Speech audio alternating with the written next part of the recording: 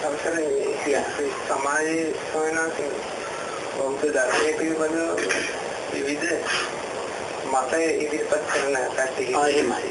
ඒ සොයනස් සමහර ස්වාමීන් වහන්සේලාත් ඒ විදිහේ මත ඉදිරිපත් කරන අවස්ථා දෙනවා. ඒ ඉස්ලාමී විදිහේටියට අපිට ඉතින් ඒ ස්වාමීන් වහන්සේලා විවේචනය කිරීමක් කරන්න බෑ. ඒ ඉතින් අපි ක්‍රියා කරන්න ඕනේ කොයි විදිහටද? මෙතන එතෙන්දී ක්‍රියා කරන්න ඕනේ මහත්තයෝ බුදුරජාන් වහන්සේ අපේ කල්යාණ මිත්‍රයා කරගන්නක.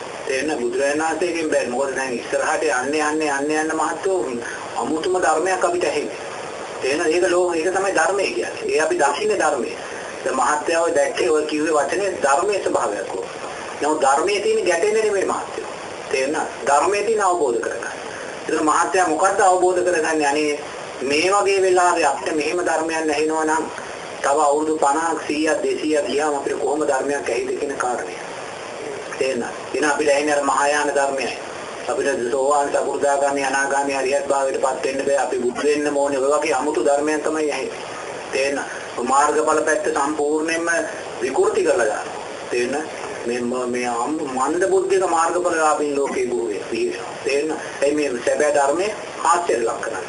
තේරෙනවද? ඒතකොට මේ සියල්ලම අපි ධර්මයේ හැටියටයි දකින්න ඕනේ මාත්‍ය.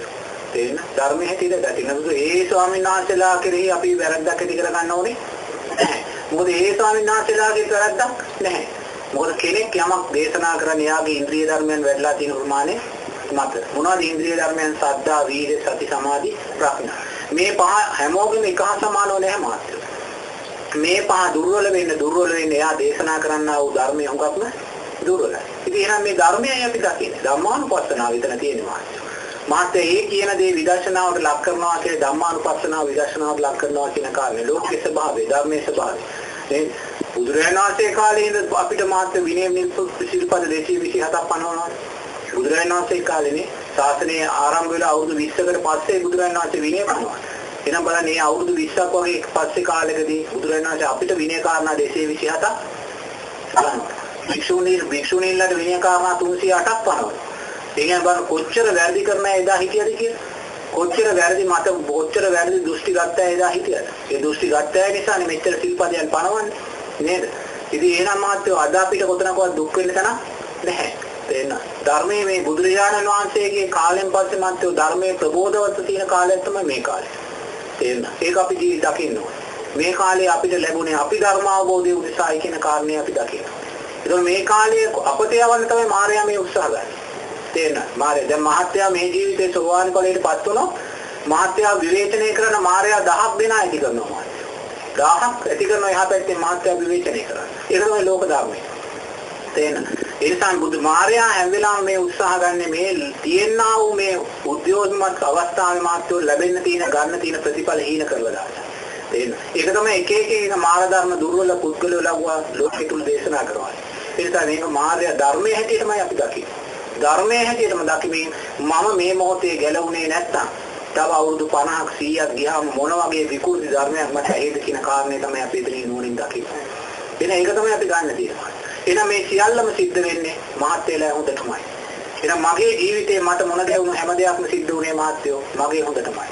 තේරෙනවද? නමුත් ඒ සිද්ධ වෙච්ච දේවල් නිසා මම අඬලා තියෙනවා. මම කඳුළු හෙලලා තියෙනවා. දුක් වෙලා තියෙනවා. තේරෙනවද? අප්‍රමාණ වේදනාවටපත් වෙලා තියෙනවා. නමුත් දැන් මෙතන ඉඳන් බලද්දී සියල්ලම සිද්ධ වෙලා තියෙන මගේ හොඳටයි. ඒ නිසා සමාධිය තුල මේ වෙලාවේ මොනියම් විකෘති ධර්මයක් ඇහෙනවද මහත්යෝ? ඒ ඇහෙන්නේ මහත්යලාගේ හොඳටමයි. මොකද මහත්යලට වීරය කියන කාරණේ අප්‍රමාදී භාවය කියන කාරණේ අර්ථය ජීවිතේට එකතු කරලා දෙනවා.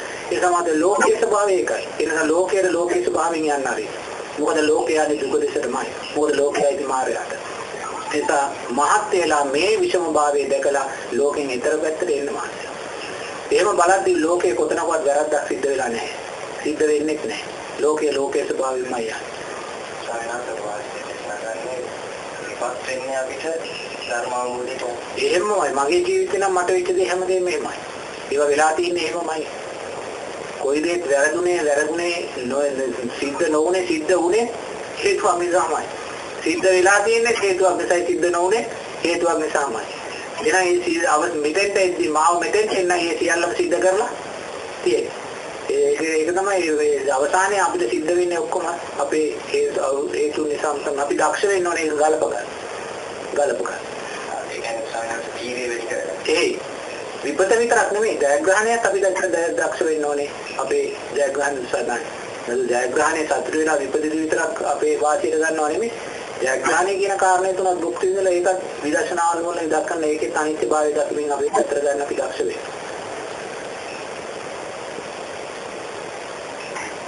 වීර්ය ගොඩක්ම ඇති වෙන සාමාන්‍යයෙන් සතර බය දන්නේ.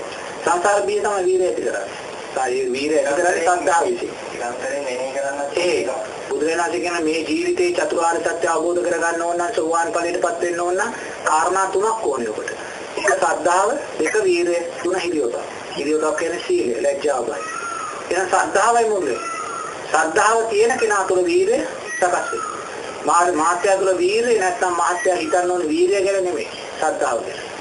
ශ්‍රද්ධාවේ දුර්වලතාවය නිසායි මාත්‍ය තුළ වීරය සකස් වෙන්නේ නැත්තේ. වීරය සකස් වෙන්නේ කුමටද? ආරෂ්ඨාංග මාර්ගය තුළ ගමන් කරනවා. එනම් මේ මාර්ගය තුළ ශක්තිමත් වෙන වීර්ය සකස් වෙන්නේ නැහැ කියන්නේ මාත්‍ය ශ්‍රද්ධාව මෙතන තාම දුර්වලයි.